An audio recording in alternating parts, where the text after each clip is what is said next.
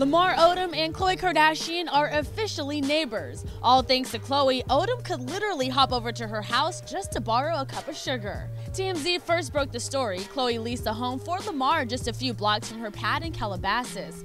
Per the news outlet, Kardashian's name is on the lease. The Strong Looks Better Naked author has been by Odom's side since he was found unconscious inside a Nevada brothel back in October. And while the former athlete has made impeccable progress, his memory isn't back to normal quite yet. Here's what Khloe told Ellen DeGeneres via FaceTime on Monday.